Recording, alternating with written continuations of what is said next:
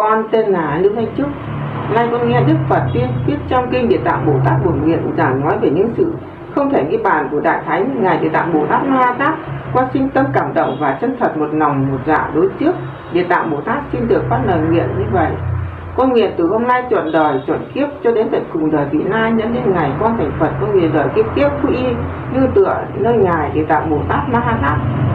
con nguyện đến tận cùng đời vị lai những ngày con thành Phật đời đời kiếp kiếp con nguyện sẽ dùng trong ngàn phương tiện dẫn dắt ví dụ chúng cho thầy, tất cả chúng sinh là biết đến ngài vi ngài, hầu làm với tất cả chúng sinh đều được lợi ích lớn.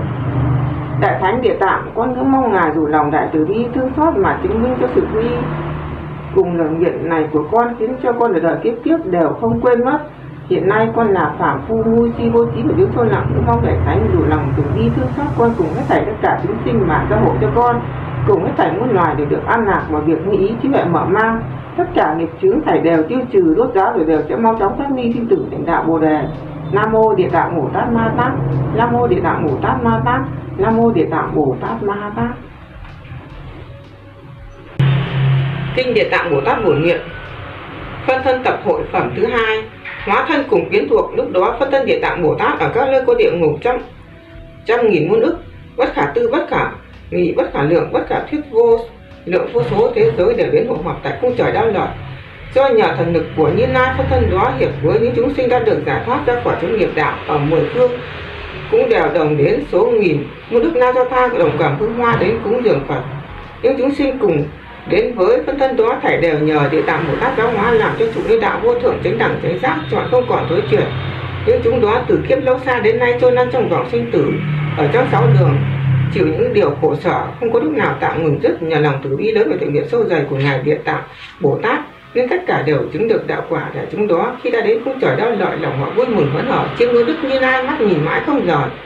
Đức như lai an ủi ý thác, bây giờ thế tôn giơ tay sắc vàng so đảnh của hóa thân địa tạng đại bồ tát trong trong nghìn ước, bất khả tư, bất khả nghị, bất khả lượng bất khả thiết, vô lượng vô số thế giới mà dạy rằng, ta ở trong đời ác ngũ trược giáo hóa những chúng sinh căng cường như thế làm cho lòng chúng nó điều phục, bổ tà để cháy, nhưng trong 10 phần, vẫn còn một hai phần chúng sinh quên theo tánh ác. Muốn độ chúng nó tam, cũng phân nghìn trăm ức. Thân lập ra nhiều phương trước, trong chúng sinh đó hoặc có người các tái sáng lẹ nghe pháp của ta thời liền tín nhận và có người phải ân cần khuyên bảo mới thành tựu được thiện quả. Hoặc có kẻ vì tội nghiệp quá nặng nên chẳng đem lòng kính tin ngưỡng mộ. Ta phân ra nhiều phân thân độ thoát, những hạng chúng sinh, mỗi mỗi cách khác như thế hoặc hiện ra thân trai hoặc hiện ra thân gái hoặc hiện ra thân trời rồng hoặc hiện ra thân quỷ thần hoặc hiện ra thân núi rừng núi sông ngoài ao rạch suối làm ích cho mọi người để rồi độ họ được giải thoát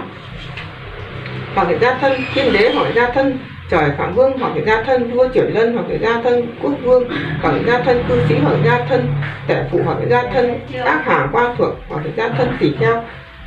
tỷ kheo ly ưu và tác ưu và di dẫn đến hiện ra những thân thanh văn năng hán ích chi phật và bồ tát để hóa độ chúng sinh. Chứ chẳng phải chỉ có thân phật hiện ra trước chúng thôi đâu. Địa tạng, ông xem ta đã trải qua ba số kiếp nhọc nhằn tội phát, những chúng sinh cam cường đầy tội khổ, có gai hóa như thế ngoài ra, những kẻ chưa được phục thời phải chấp nghiệp quả báo. Nếu khi chúng nó có bị đọa vào đường dữ chịu nhiều sự thống khổ thời ông nên nghĩ ta ở cung trời đau lợi ân cần có chút đây mà có độ chúng sinh làm cho chúng sinh trong cõi tạp bản này, đến lúc Phật chí nạp ra đời đều đặng giải thoát khỏi hẳn các điều khổ gặp Phật được Đức Phật thọ ký. Bây giờ, những hóa thân địa đạo ở các thế giới hiệp chung lại một hình rơi nhẹ thương cảm mà vật cùng Đức Phật rằng, từ số kiếp lâu xa đến nay con nhờ Đức Phật, Đức Thế Tôn tiếp độ rất dìu làm cho con được thần lực chẳng thể như bàn đầy đủ trí huệ rộng lớn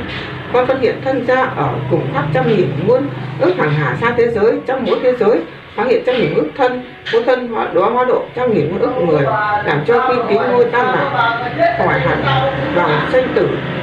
hưởng vui niết bàn những chúng sinh nào ở lơi phật pháp chỉ nào việc này bằng một giọt lâu một giọt nước một hột cát một, uh, một bụi nhỏ hoặc chỉ bằng chừng mảnh lông tóc con đều độ phát lần lần làm cho chúng nó được lợi ích lớn cứ mong đức như lai chớ vì chúng sinh ác nghiệp trong đời sau mà sân lòng lo lo lắng. Cứ mong đức như lai chớ vì chúng sinh ác nghiệp trong đời sau mà sinh lòng lo lắng. Ngài địa tạng bồ tát rồi cùng đức phật, ba lần như thế lúc ấy, đức phật khen ngài địa tạng bồ tát, hay thay hay thay ta hỗ trợ cho ông được cảm nghiệm từ số kiếp nó xa đến nay, thường phát nguyện rộng lớn cứu độ tất cả chúng sinh xong rồi thở ông điền chứng quả bồ đề. Ha